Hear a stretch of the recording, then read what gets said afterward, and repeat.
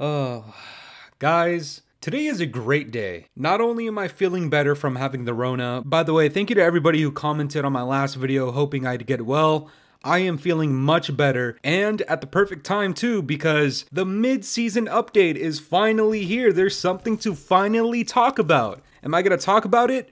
Hell no! Because something incredible happened with Sledgehammer. You know, Call of Duty's had this very, very big problem over the last couple of years. Not only have the games sucked, let's be completely honest, the last three games haven't been the best. This game in particular, Vanguard, it sucks, alright? Let's be honest. But that's not even the biggest problem. The biggest problem, in my opinion, people just don't admit that the game sucks the most important people, the devs, the people who created this shit, a lot of them will never admit that the game sucks. But you know what they say, guys, admitting is the first step, and that is exactly what Sledgehammer did finally. But before I get into it, what is going on guys? It's the boy Fooly and I'm bringing you guys another video right here on Call of Duty Vanguard. And today we got some very great things to talk about when it comes to Sledgehammer. This is going to be another one of those classic videos. I feel great.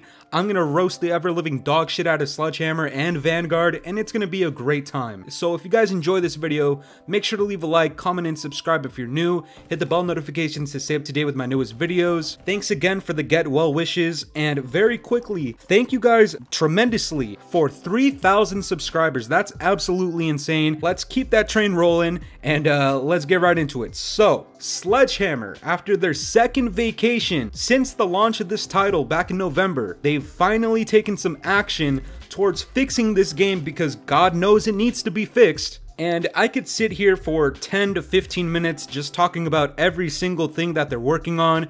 But do I really care about that? No. Why? Because for the longest time, this game has just been a thorn in my side. It's been complete cock and ball torture just playing this game. And finally, Sledgehammer is not only working on fixing the cock and ball torture that is this game, but they've actually admitted that the game sucks.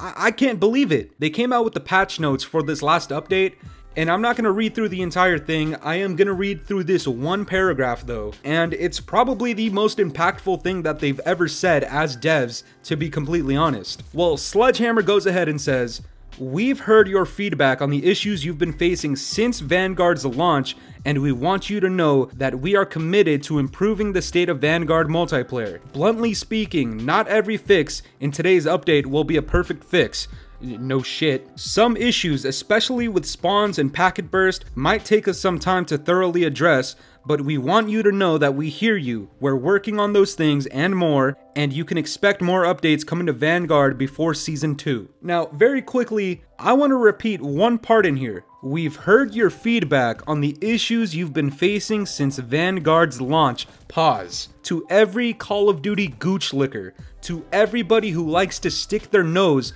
up a Bobby Kotick's ass and take a big ass whiff. To everybody who likes to drink the gooch sweat and dumpster juice out of Activision's headquarters dumpster, please Read that back to yourself. We've heard your feedback on the issues you've been facing since Vanguard's launch. Just as a quick note, today is January 11th, you guys are seeing this on the 12th.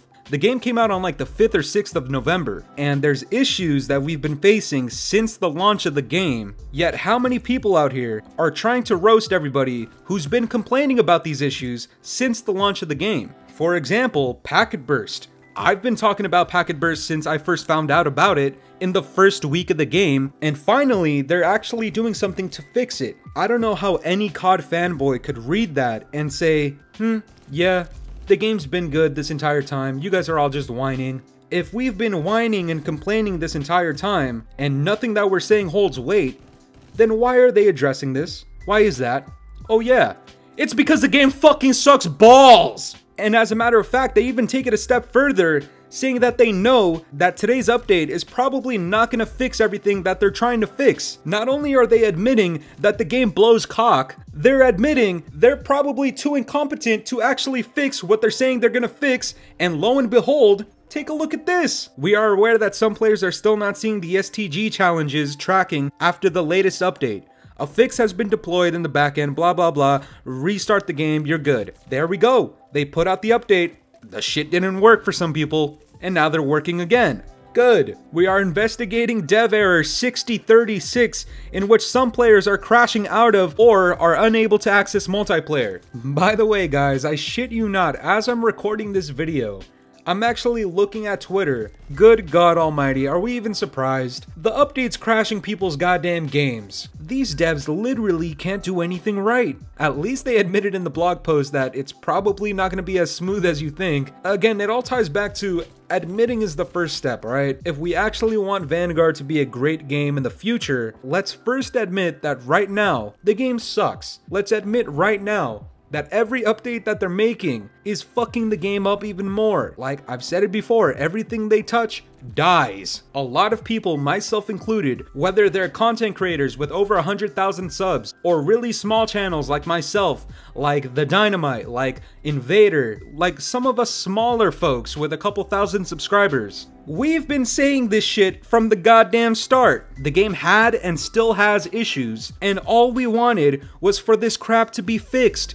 and for Sledgehammer to admit that this game blows. So to everybody out there who's been saying, oh, you're just complaining for views, you're just crying for views, I'm reporting you for bullying the devs.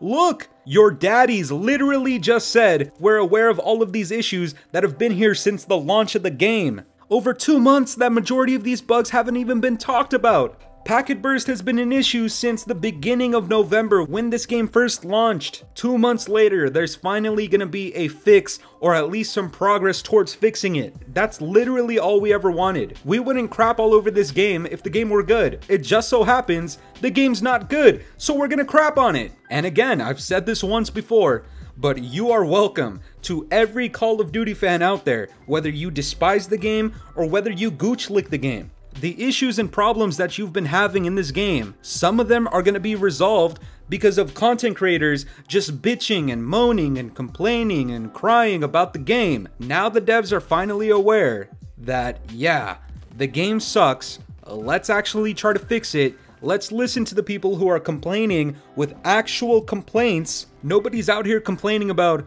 oh, shoot first, die first, there's too many campers. Those are just gameplay designs. They made the game campy. They made it so that the time to kill is this fast. That was all their choice. A lot of these bugs that we've been talking about, the aim assist, the packet burst, how many times you get stuck against the walls, a lot of that is being addressed, and Sledgehammer is admitting that it's been a problem since launch. If the game were actually this incredible great title, the savior of the franchise that some of you gooch lickers think that it is, would there be this many bugs since launch, and would Sledgehammer openly say that there's been issues since the launch of the game? If the game were actually that good, none of this would be happening. Now, of course, there's a lot more to this update than what I just said. There's obviously new content coming out. I think there's a new gun coming out. There's new bundles in the shop, unfortunately. Again, if you don't like the game and you're still playing it, don't buy any bundles. The Attack on Titan bundle has been confirmed.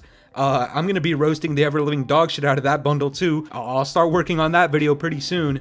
But again guys, today is a very important day in Call of Duty history, especially in Vanguard history because it's not very often that the devs will come out and say, yeah, we fucked up. Even though they're not directly saying it, you can tell what they mean. You can tell they've heard all of these people smoking the game because the game deserves to be smoked. Even if you're having fun with it, there's a lot of game breaking issues and bugs in this game, and they're finally, finally finally addressing it. And Sledgehammer, a quick message to you. Don't let your foot off the gas. I say this every single time any of these devs do anything right. Just keep it going. Keep the momentum going. Keep fixing things. You're finally back at work, you deadbeat morons. But that's gonna do it for me today, guys. I'm curious to know what you guys think about all this. Maybe a slight round of applause for Sledgehammer. Maybe kind of doing something right, sorta. Although we know that the game still sucks, but at least they admitted it. And as always, if you guys enjoyed this video, make sure to leave a like, comment, and subscribe if you're new. Hit the bell notifications to stay up to date with my newest videos. Thank you again for over 3k subscribers. Let's keep that going. And uh, yeah, guys, until next time, it's been the boy Fooly. Have yourselves a good one. I'm out of here. Toodaloo. It's been a very long time since the weekend. It's been a very long time and I'm weak. It's been a very long time.